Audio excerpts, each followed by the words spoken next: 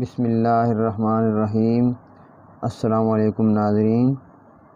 आज हमने क़ाफ़ की मश करनी है तो क़ाफ़ को हमने कहाँ से शुरू करना है और कहाँ पे इसको ख़त्म करना है तो उसके लिए हमने कलम को, कलम का तीसरा हिस्सा इस लाइन से ऊपर एक निशान लगाना है और यहाँ से डेढ़ का नीचे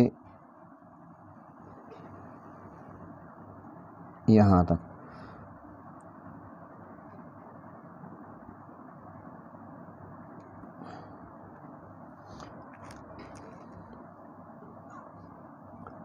तो यहाँ से हम इसको स्टार्ट करेंगे।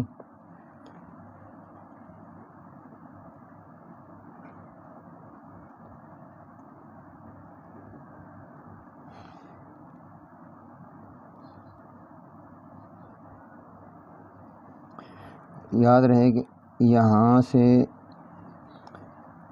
एक कत का निशान लगाएँ और इसको यहाँ पे आकर मिला दें। यहाँ पे।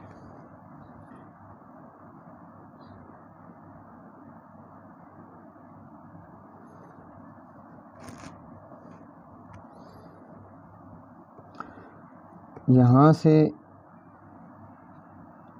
दो कत और यहाँ से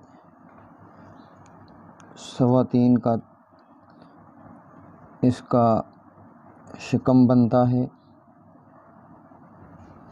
और यहाँ पे आके इसको इस लाइन से मिलाना होता है।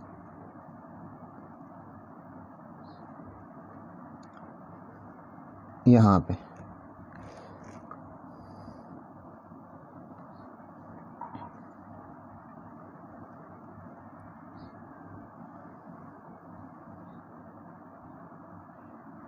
और इसका मुसलसल ज़ाविया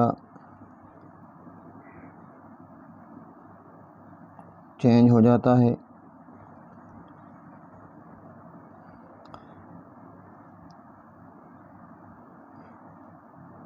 इधर से कलम अंदर की तरफ़ मूव करता है यहाँ तक और यहाँ से एक का नीचे इसको ख़त्म कर दिया जाता है।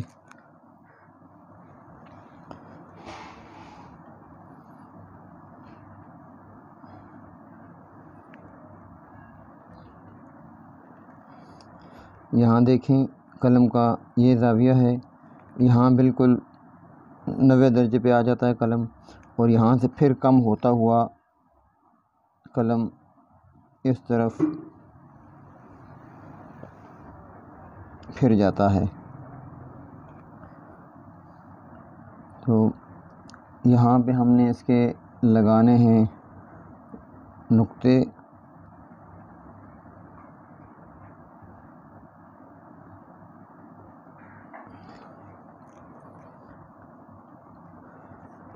यहाँ से इस नोक से काफ के सर का जो फासला है, वो दो कत है।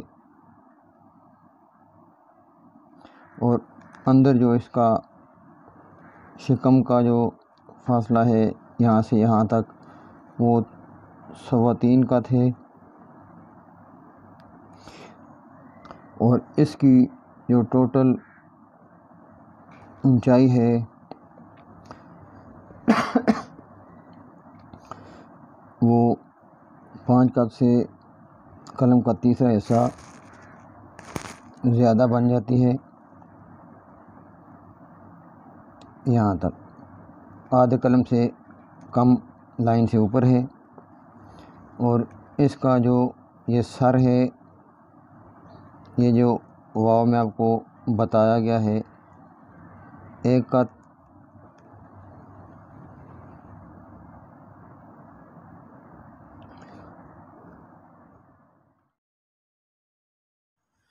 अब हम काफ लिखने की प्रैक्टिस करते हैं।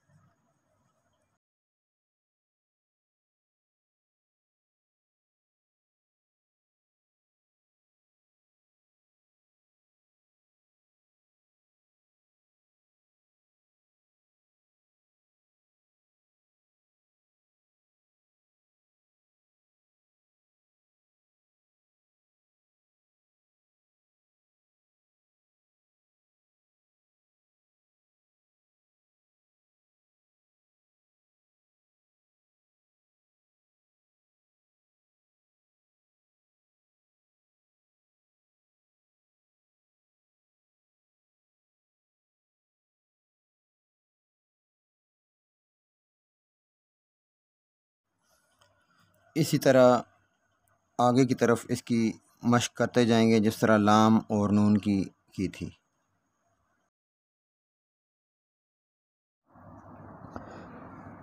अब यहाँ से हमने इसको शुरू किया है।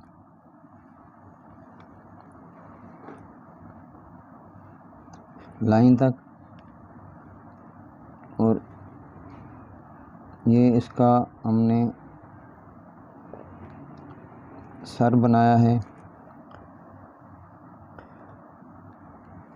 तो यहीं से आपने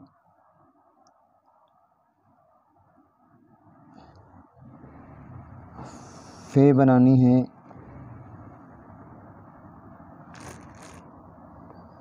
एक कत ये है, चार कत आगे हैं।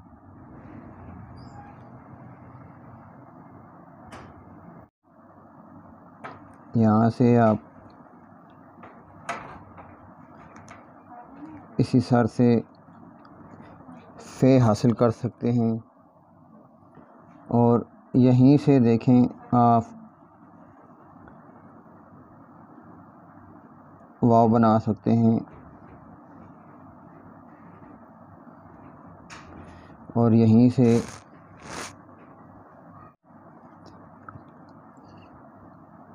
काफ बन जाता है।